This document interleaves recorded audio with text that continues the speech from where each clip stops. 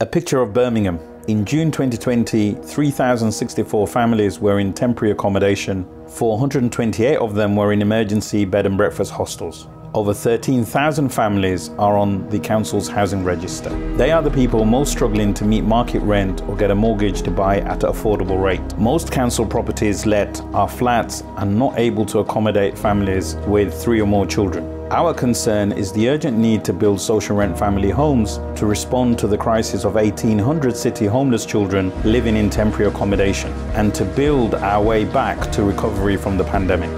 Stories of moms like Mariam and Denise who have endured terrible experiences living with their children in cramped B&B rooms minus the breakfast. The children travelled across long distances in the city to attend school and relied on fast food places for dinner at the end of the day.